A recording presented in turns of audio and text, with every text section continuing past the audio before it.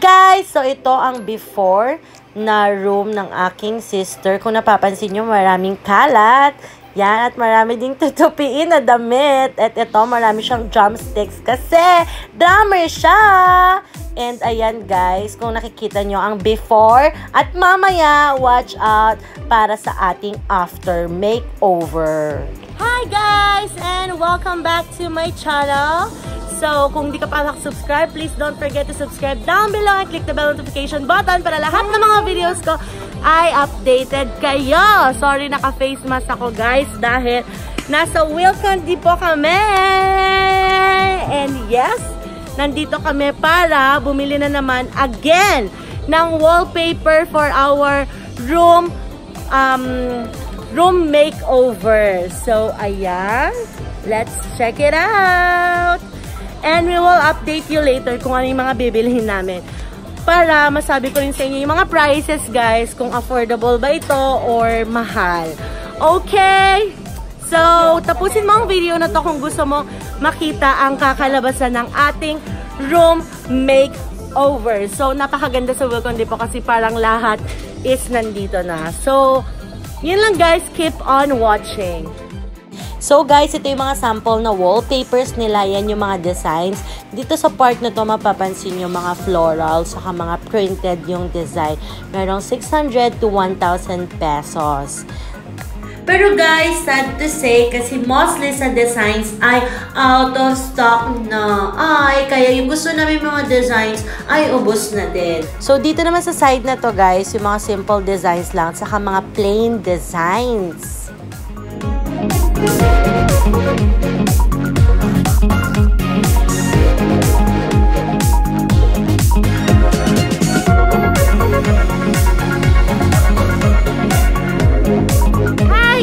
So, pauwi na kami and mamaya watch out for room makeover for my sister.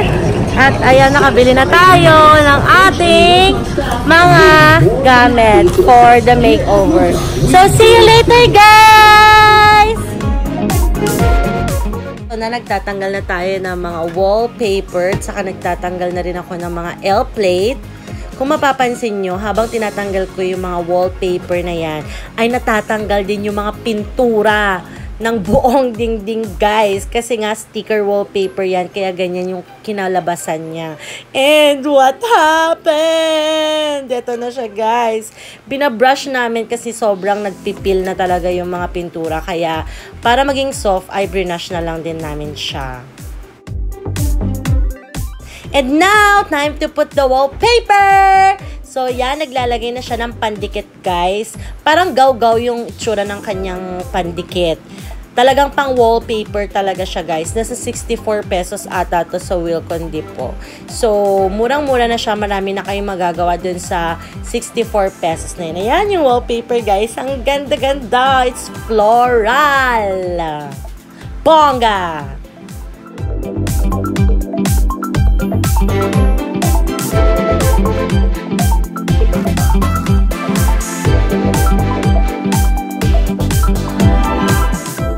Guys, be careful sa pagkabit ng wallpaper. Saka dapat meron din kayong pang-press sa wallpaper na flat na gamit. Itong ginagamit ko ay yung pang windshield or yung pang mga salamin, pang linis ng salamin. So, yun yung pang flatten ko. Dapat kasi talaga guys, ma-flatten nyo ng maigi para walang lobo-lobo yung wallpaper. Para lang siyang pintura ang kakalabasan. So, ingat-ingat guys sa paglagay ng wallpaper kasi sayang ang pera pag nagkamali kayo.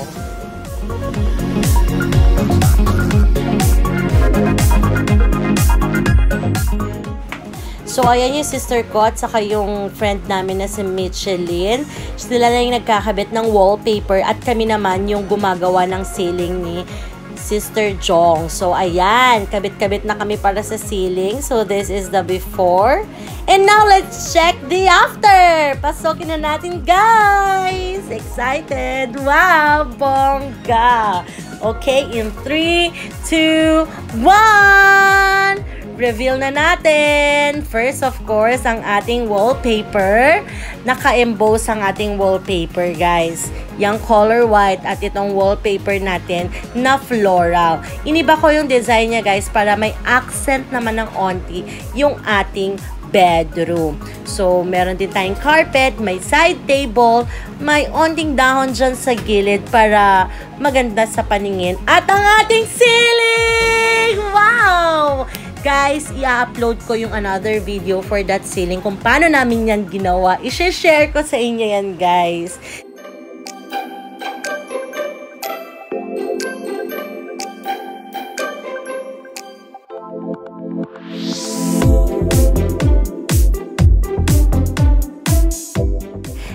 Carpet, guys, is only 1,500 pesos sa ukay-ukay.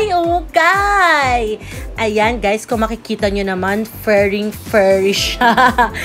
Yan, makapal yung fur niya, tapos malaki din siya. Kaya mura na yung 1.5 para dyan. And ito namang cabinet, dating brown yan, wallpaper na rin namin ng white para malinis tingnan at hindi masyadong maraming kulay ang makikita natin sa loob ng kwarto.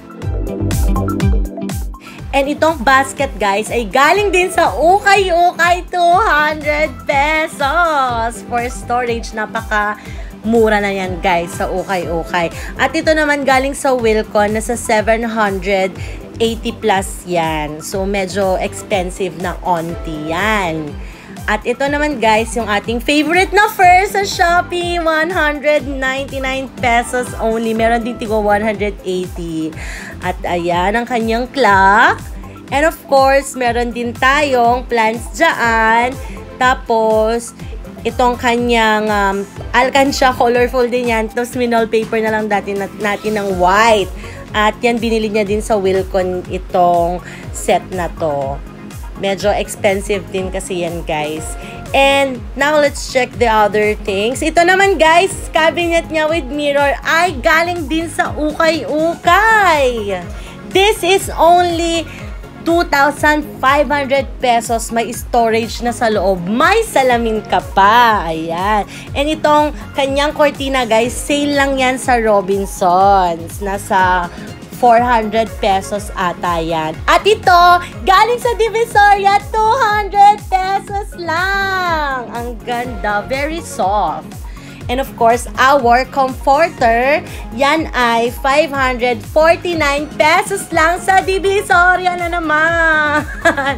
Tipid-tipid. At ito naman guys, na set niya para sa ating bedsheet and pillowcase ay nasa 249 pesos sales sa surplus. Yan. Okay. So, tingnan naman natin itong kanyang kama na built, may built-in na headboard na. That is only 9,000 pesos. Um, oversize siya ng double. Malaki tong kama na to, guys. Tapos may built-in headboard na. So, mura na din yon Tapos yan, guys, dating uh, light brown kasi to na furnish siya. Pero, nilagyan namin ng wallpaper na dark brown para medyo hindi masakit sa mata. And of course, our flower, uh, floral pala, floral wallpaper. Ayan. And ito guys, ang kanyang name ay DIY lang yan. Made of foil. Color gold, shiny shimmering, para siyang naka-emboss. At saka, ang ganda ng color niya talaga. So, ayan guys, minsan kailangan din natin mag-isip ng mga DIY para makatipid. Love, love, love. Itong kanyang mirror. Galing din sa Wilcon Depot. Nasa 1,300 pesos only.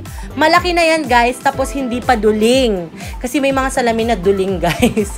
At itong humidifier, parehas kami ng sister ko kasi gift yan ng aming parents sa amin noong January. Kaya kambal kami ng humidifier.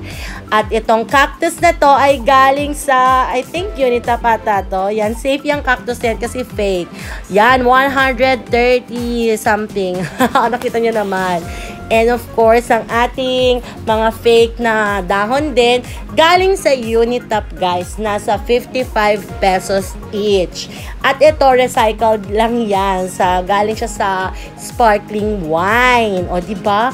Mag-recycle tayo guys pag may time para makatipid. Di ba? And of course, the side table, guys, galing na naman yan sa Japan Surplus Ukay-Ukay. Pero brand new yan na nabili namin, guys. That is around 2,300 pesos ata. Tapos ito, yan yung 200 pesos na small chair. At ito, ang ganda ng wallpaper. Nakikita nyo ba yan? Emboss siya, guys. Sparkling. Sparkling, sparkling, shiny, shimmery, splending! Boga! Ang ganda! Perfect to guys. Perfect talaga pag wallpaper. Kasi hindi ka na maghihirapan, nakakapintura, at saka hindi din siya mabaho. Diba, bongga yun?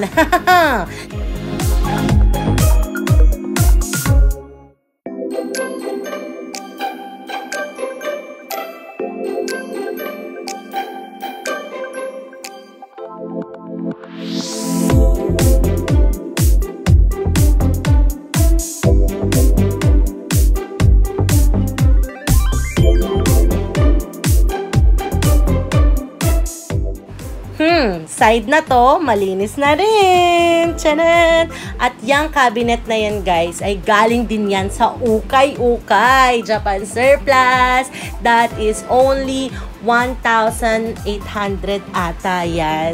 So, ganyan. Maganda na siya, guys. Talagang parang bagong-bago pa. Oh, madami ng pang storage diyan. Murang-mura na 'yun, 'di ba, no? So ito guys, naglagay na din tayo ng kanya mga makeup brushes dito, no, guys natin. Saka ito guys, ay 10 pesos lang 'yan sa Novo.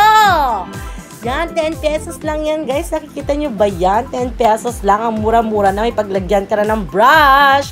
At itong plastic na to, in-spray paintan ko na din para magkaka-jive sila ng color. Para hindi masyadong colorful yung sa loob ng kwarto natin. At ito naman guys, galing yan sa Wilcon Depot, 300 pesos. Medyo expensive yan guys. O yan, tignan nyo naman. Ang ganda. Kanyang mga bags, speaker niya, at ang kanyang spray room spray. So, guys, kung mapapansin nyo, napakadami niyang bulky cabinets. That's okay kasi depende naman yung um, pang storage mo. Kung kailangan na kailangan mo talaga, wala namang problema kung bulky storage. Basta, ipe-place mo lang yon sa tamang lugar.